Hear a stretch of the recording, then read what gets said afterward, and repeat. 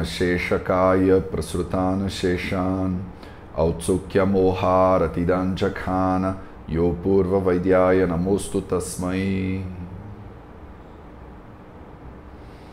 Sejam bem-vindas a mais um vídeo da série Vida Veda nos Samhitas no canal do Vida Veda no YouTube. Meu nome é Mateus e hoje a gente vai continuar nossa leitura do Ashtanga Hridayam Sutrasthana, é, capítulo 2, com a leitura do Shloka número 18.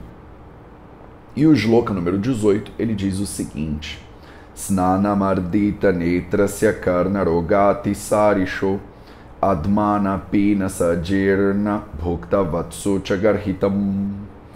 então hoje a gente vai continuar com a nossa discussão sobre o banho, snana, e ele vai falar um pouquinho sobre é, as situações nas quais o banho é contraindicado, né? É...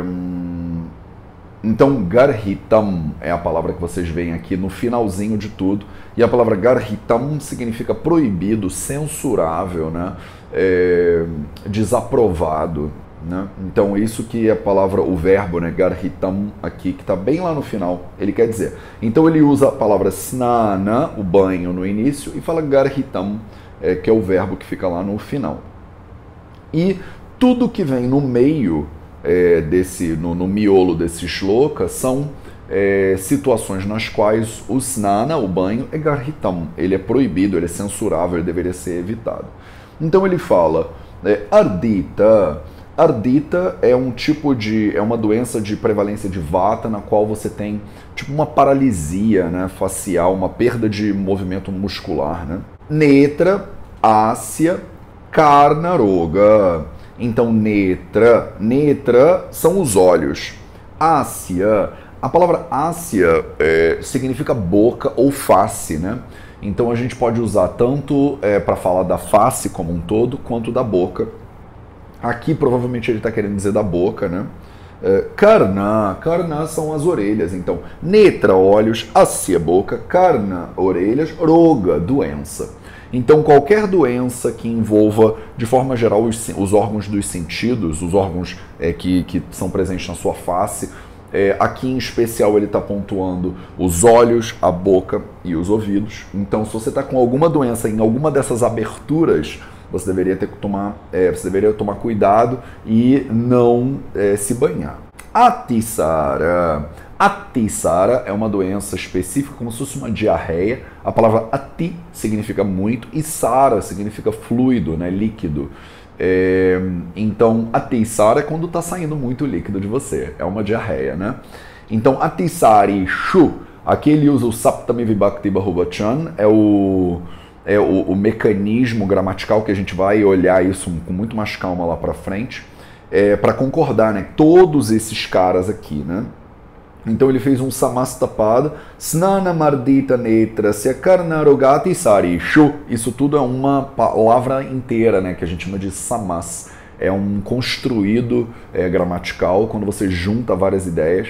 E ele termina com ishu. Esse, isso não tem é, significado é, em si, a não ser que ele indica a, a sétima é, conjugação né, no plural, o que significa locativo, né? A gente diria em português é o locativo no plural. Enfim, não se preocupa com isso agora não, que a gente vai olhar isso com mais cuidado mais para frente. Admana pina sadirna. Então, admana.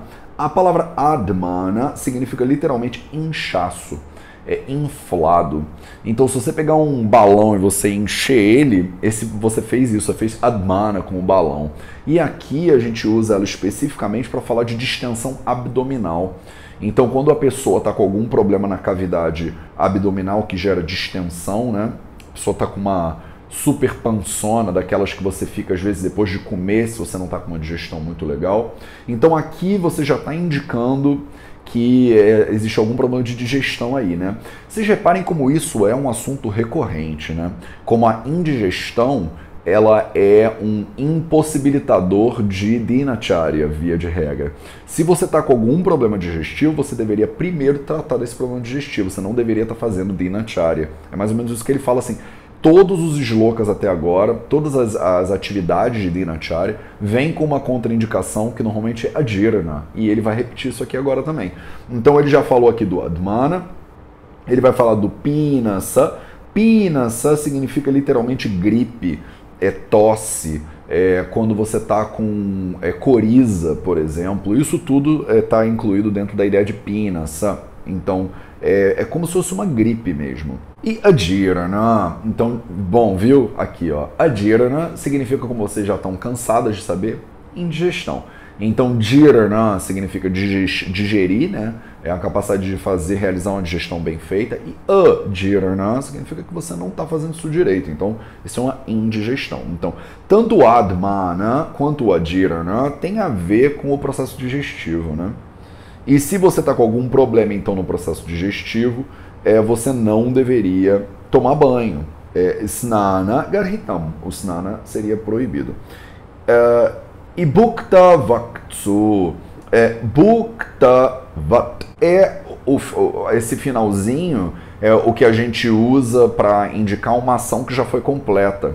Então o bukta significa comer, né? Então se você acabou de comer, você não deveria tomar banho. Isso é meio que cultura popular também, né? A gente sabe disso. Você não deveria é, comer e ir tomar banho. Percebe como tem uma ligação aí de novo com a ideia da digestão. Se você está fazendo digestão ou se você está com uma digestão mal feita ou incompleta, várias atividades de dinacharya vão exigir é, é, do teu processo digestivo. Então, se você não está com a digestão boa ou você está usando a digestão né, para outra coisa, como digerir comida, você não deveria tomar banho.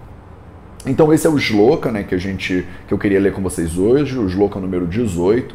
Então ele fala, por exemplo, se você está com algum problema muscular, de paralisia muscular, paralisia facial, se você está com algum problema é, nos olhos, na boca, nos ouvidos, se você está com diarreia, se você está com distensão abdominal, se você está com, se você está gripada ou se você está com indigestão mesmo, ou logo após o consumo é, de alimentos, você deveria evitar garhitam, o banho, snana. Então, esse é o sloka número 18 e vamos então agora para o nosso minutinho de sânscrito. E no nosso minutinho de sânscrito de hoje, a gente vai continuar é, a nossa exploração das consoantes do Devanagari, do alfabeto do sânscrito, é, entrando nas consoantes que a gente chama de cerebrais. Né? São consoantes que a gente não tem em português, que vocês vão achar esquisita a pronúncia mesmo, e que acontecem normalmente, a pronúncia dessas, dessas consoantes acontece quando a língua ela vai em direção ao céu da boca, encosta no céu da boca. Então hoje a gente vai ver duas consoantes, o T e o T, que são como se fosse a letra T. A gente é, anota esse, essa, esse, essa posição da língua no topo do céu da boca com um pontinho embaixo. Então vocês vão ver que tem um T com um pontinho embaixo, ou um TH com um pontinho embaixo. Uma é marra prana da outra, o que significa que a segunda ela vai exigir mais ar saindo de você. E é como se você pronunciasse a, a consoante T, só que o T, ele é a língua encostando no dente, né? T, T, T. Então, tá, te, ti, to, tu. A língua ela vem e, e, toca no dente. Nessa daqui não, a língua ela vai encostando no céu da boca. Então você vai dizer t, t, t, t, t, t, t, t, Tá, eu estou exagerando aqui a abertura da boca para vocês conseguirem visualizar isso bem. Mas, é, e vocês vão ver que ela é escrita como se fosse uma foice, né? E uma foice completa, uma, um círculo inteiro. Então, um tracinho com uma foice ou um tracinho com um círculo completo. É, o primeiro é o T e o segundo é o T. T, T, T, T.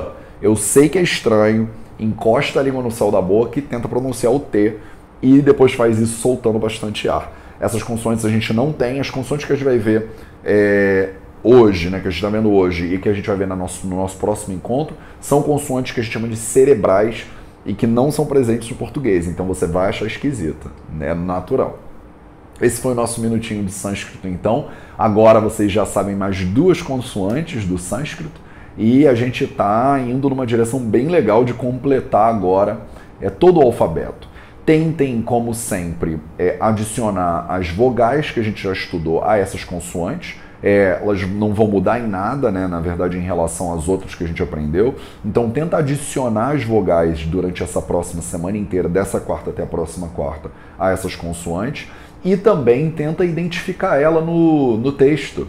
Você vai encontrar essas duas consoantes um bocado. Elas não são é, as mais comuns de todas, mas elas aparecem bastante. Então, é, tenta identificar elas nos slocas que a gente já viu e nos slocas que a gente vai ver de agora em diante. Vocês já estão aí com um conhecimento acumulado bem interessante do Devanagari, né, do, do, do sânscrito, então vale a pena vocês colocarem isso em prática, porque senão vocês vão começar a enrolar e vão começar a esquecer. Bom, esse era o sloka que eu queria ler com vocês hoje. Muito obrigado pela presença de todas e a gente se vê no próximo vídeo.